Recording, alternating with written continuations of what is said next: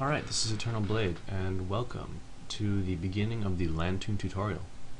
Uh, in the end, this is what we're going to be creating. Uh, this is actually the final image that was rendered. Um, it had a little bit of Photoshop work in it as well, but overall, it was a huge success. We have everything from the textures, uh, the lighting setup, um, all the modeling of the geometry. This is basically like an interior architectural room but it's like a hero shot of this lantern in general. We have some you know, paper over here writing, pictures in the background. Um, it's pretty much all covered. So I hope you enjoy it. Uh, it's about two hours long, I want to say, so not terribly long. Um, have fun, and let's begin. Alright, welcome to the first part of a new tutorial about how to create a lantern.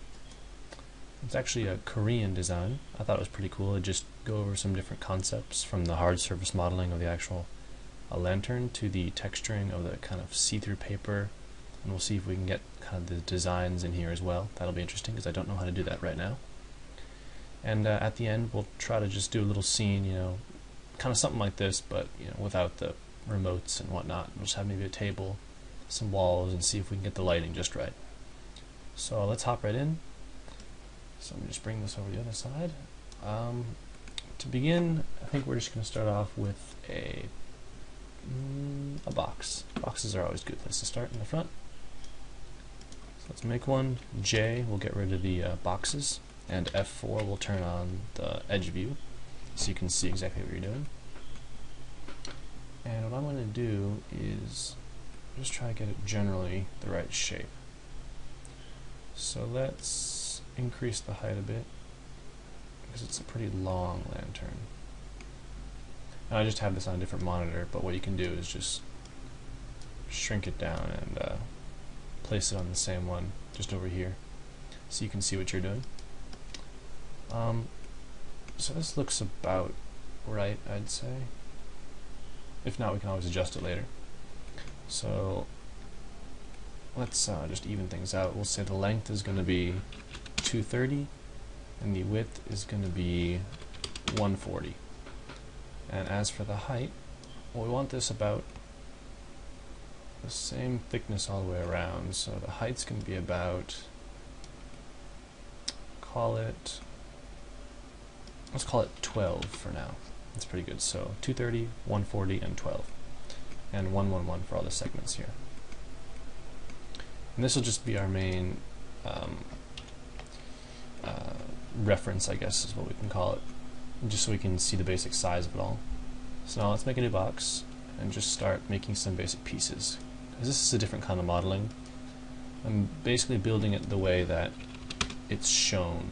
So it's as if I'm creating it out of wood. So length is going to be 230 again. Uh, width, let's try to make this, thinking 20. It's a pretty good width. And the height is, what did I say? It was 12, but I can't remember. Uh, yes, 12. So a height of 12. Alright. And let's just kind of match that up right there. And we can move this one back just so we can see what we're doing. So this is going to be this side piece right here. Alright, uh, next let's just copy it over. I guess F to go into the front view, G will get rid of the grid. And let's just copy it. I'll do the detailing later, I just want to get the basic thing together. Um, and these are about the same thickness. So let's press E, A turns on angle snap, and Shift to rotate it in increments of 5, and just copy it. Now let's uh, put this over here. Just line it up like that and convert it to an editable poly. I've made it a shortcut key Control Alt Q, but if you don't want to do that, just right click anywhere on this little box and hit editable poly. Or you can go in the quad menu and uh, convert to editable poly. There it is. So press 1 to go into vertex subobject mode. And just shrink these so they're uh, Z will zoom into what you selected. So, so there's a little bit of gap remaining. And that gap is going to be pretty critical when we're actually building it because nothing is um, perfectly straight together. Let's just select all these and bring it down just a smidge. Just trying to get the bottom lined up. Alright, and then for the top, we're going to uh, drag this up here, copy, Shift drag is what copies, by the way. Okay. So select these bottom verts here and just make these a bit longer up here. This is where the design is going to go. Okay. Next, we're going to select this edge here and copy it over. Make the width, oops, sorry, not the width, the uh, control Z to undo, the height maybe about 5, no, let's make it 2.5.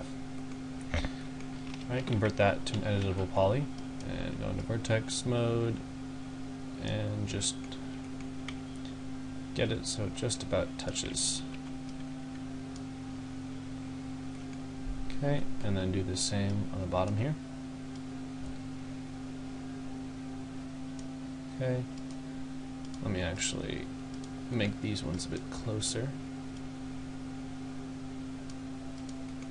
Alright, now what we're going to do is kind of position this so it'll be about, well, probably here and then make another one about the same distance over, and let's actually increase it a bit. And we'll drag this one over. Okay. And this one is going to be a bit shorter, actually a lot shorter, so probably, I'm just eyeballing it here, but maybe around here. And then what you're going to do is just copy and drag that one down. Now sometimes you'll get this little problem where your coordinate will be way far away from your, your object. What you can do is just go to uh, reset XForm, reset selected. I like to do that first, then affect pivot only, and centered object. That way, your little things will move back. And just drag this down. Alright. Next, let's uh, select all three of these by control selecting and shift drag press mirror and make sure you're on the X axis and then drag it to about the same space over so now we kind of have the basic shape being laid out here and we can delete this so next let's go back into the front view by pressing F select one of these. Actually, let's select the bottom one. And shift rotate, again with angle snap on by pressing A. Um, and let's make some of these vertices go to the end.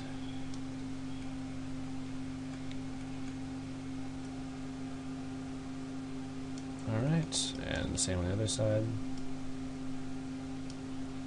Okay, and select them all and bring them down so that you get a bit of a rectangle. So right here is taller than it is longer. Just a little bit.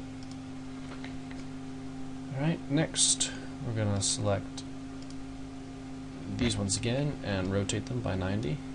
Oops, wrong one. There it is. Okay. And we'll bring it up about the same amount if you can. Make it go toward the edge. So, right about there. And then bring this in so that it has about equal lengths coming out. Okay, and then shift drag it to the other side.